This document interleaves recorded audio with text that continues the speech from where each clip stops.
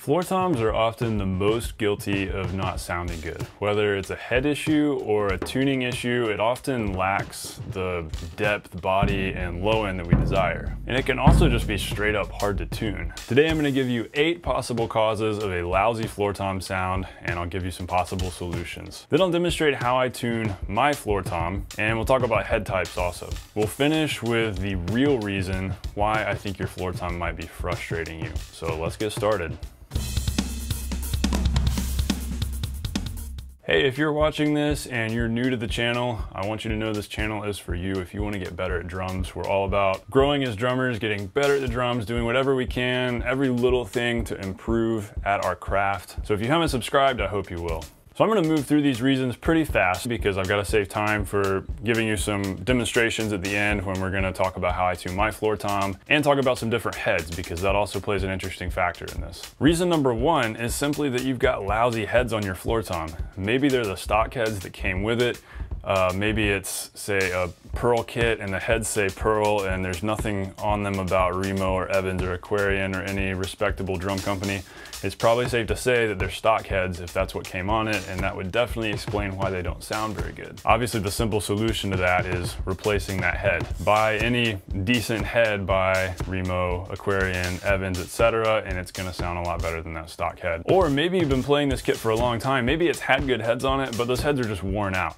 When a head gets very worn out it's gonna lose a lot of that warmth and resonance and it could lose some of that low end body if we're talking about a floor tom. So if your heads are looking like these here in this shot, then it's probably safe to say that they're worn out and you just need to replace the head and that can make a world of difference. Cause number three, the resonant head isn't tuned well. The overall resonance and body of the drum really comes from that resonant head. You can tune the top head really low, but you've got to have that resonant head at the right tension to really bring about sustain in that drum. So it's not just a low, thuddy, dead sound, unless that's what you want. Now, the tuning of the resonant head depends on the head we've got on the top, which is what we're gonna talk about later. So we're gonna go ahead and move past this point, knowing that we're gonna come back to it. We're gonna talk more about resonant head tuning. Just know that the resonant head has to be tuned a certain way, probably based on that top head and what kind of head that is or where you've got it tuned. Cause number four either head isn't in tune with itself. So one of the basic rules of drum tuning 101 is just making sure that each lug is in tune with itself. An easy way to do that is to finger tighten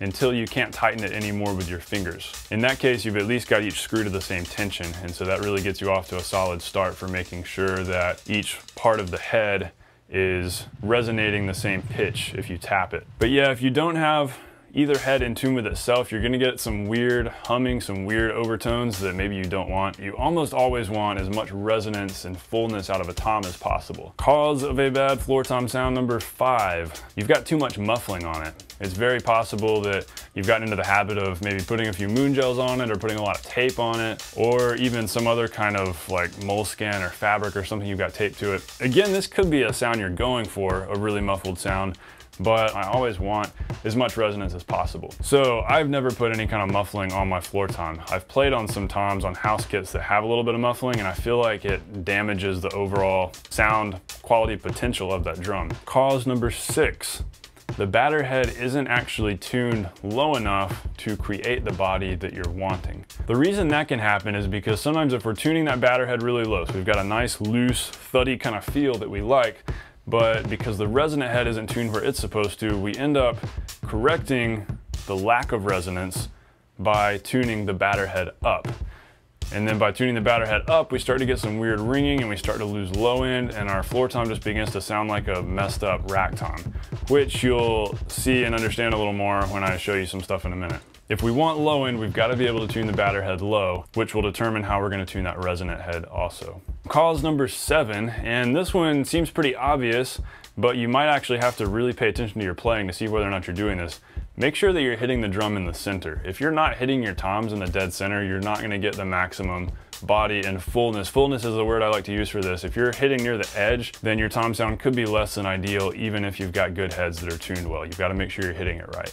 And reason number eight, which leads us into this next portion of the video, maybe you've got the wrong type of head on the drum for the sound and style of music that you're going for. Maybe you've got a head that's too thin for the punchy rock sound you want, or maybe you've got a head that's too thick with too much attack for the more resonant, mellow jazz sound that you want. I think this can be the real reason behind a lot of floor tom tuning frustration because maybe you're trying to get a sound out of the head that you've got that that head isn't capable of producing.